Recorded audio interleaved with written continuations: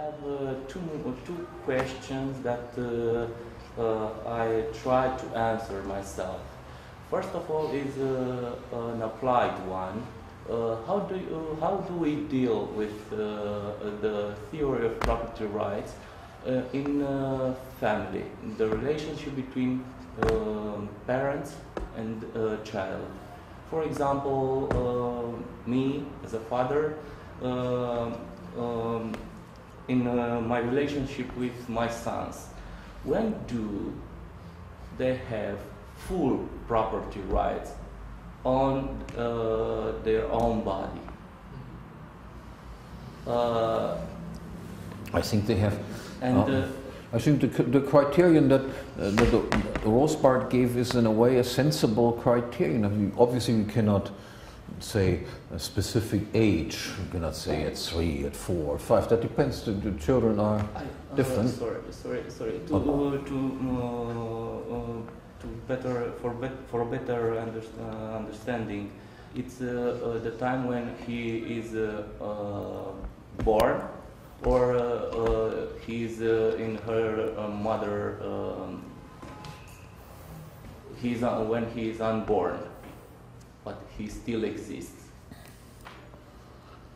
That's a, t- that's a tricky question. Um, uh,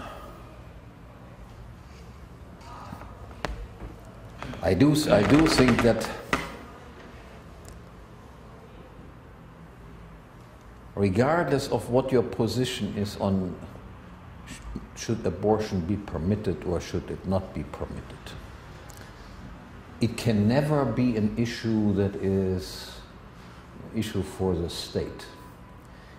It can only be an issue for those parties that are directly involved. That is, the mother and maybe the father and maybe the grandparents and so forth.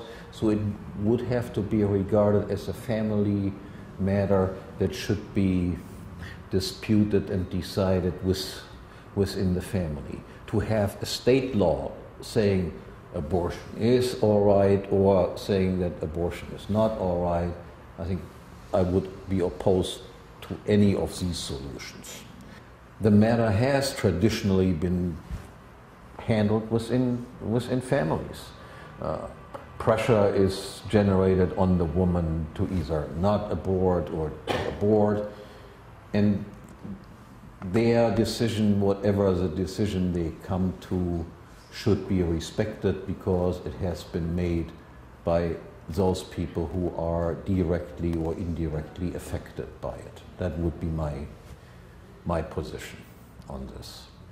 Um, and we, we do not have to be able to decide all questions that arise in, in life. Um, these, these lifeboat situations that people frequently bring. Uh, that you touched upon somebody comes swimming across the ocean there and uh, wants to crawl onto your island.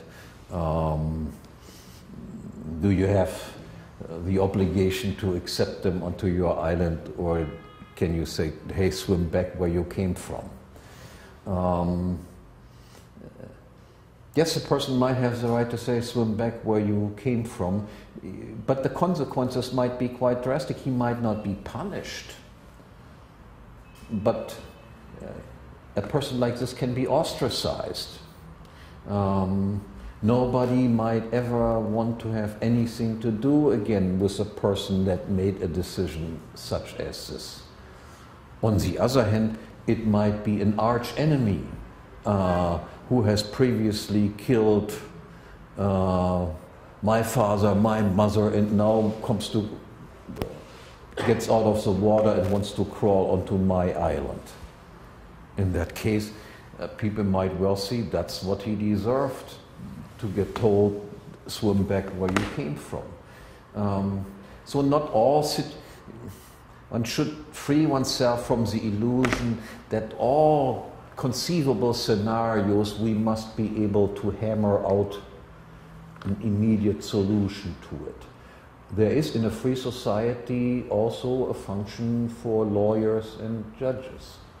Uh, you bring your conflicts before third parties uh, who command respect, uh, and they come up with judgments that are in accordance with local traditions, regional traditions, um, and so forth.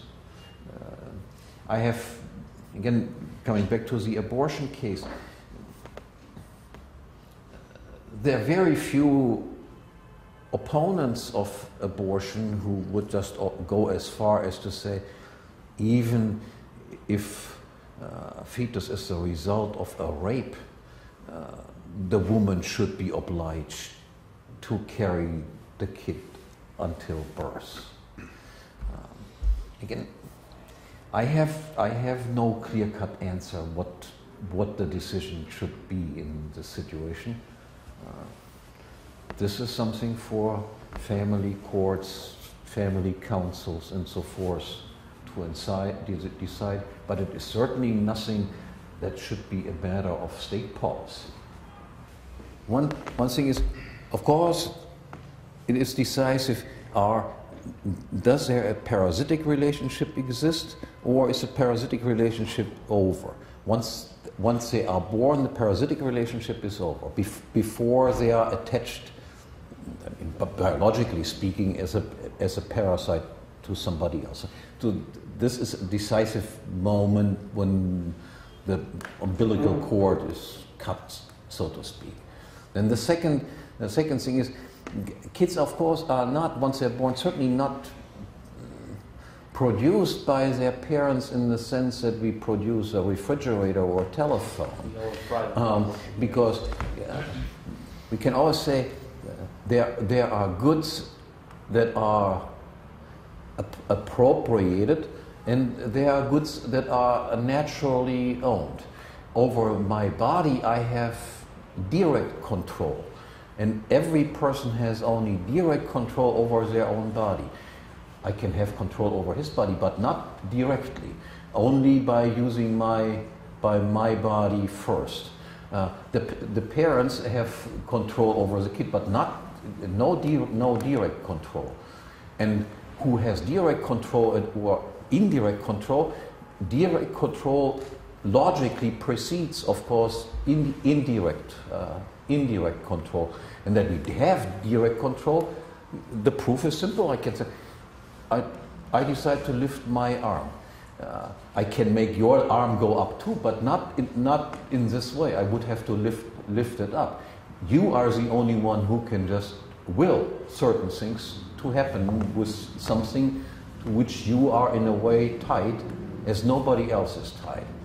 In so, in so far, the argument yeah, but parents were impregnated, the mother was impregnated, and because of this, the child is, so to speak, the product, just like a telephone is a product of the telephone producer, does not work.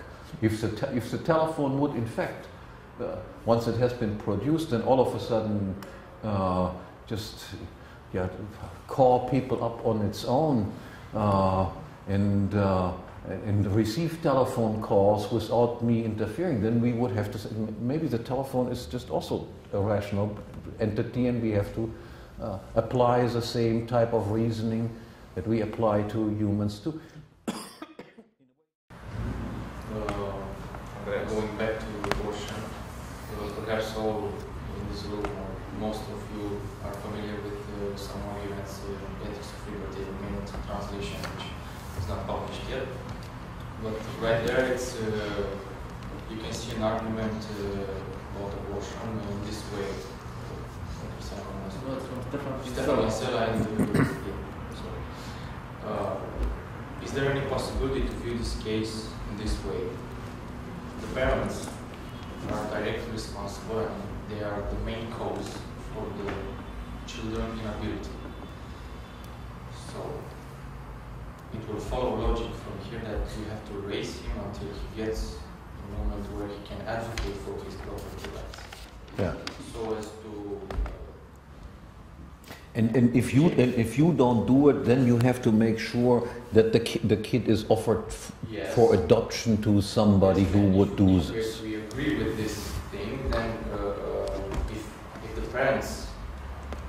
Killers, uh, remains this question if the state uh, should, uh, should go there and, uh, and restrict abortion or let it be. I mean, uh, i- is, it the state a criminal when he intervenes in abortion, or he, he only uh, refrains the criminal, another criminal, from its acts? But again, it wouldn't have to be the state. Every private person could do that Yes, also.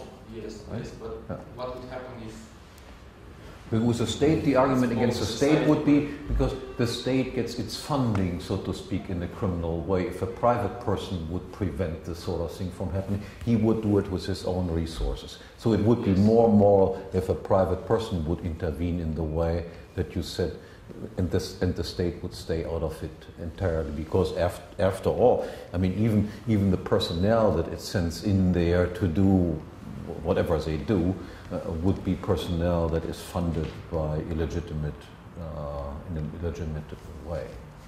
I mean, it's like inviting some somebody on your boat, and then you are. And then you're dumping him off. Yeah. Yes. yeah. Is there a possibility to do it? But yeah, that is a violation of, of the contracts that, so to speak, uh, uh, exist.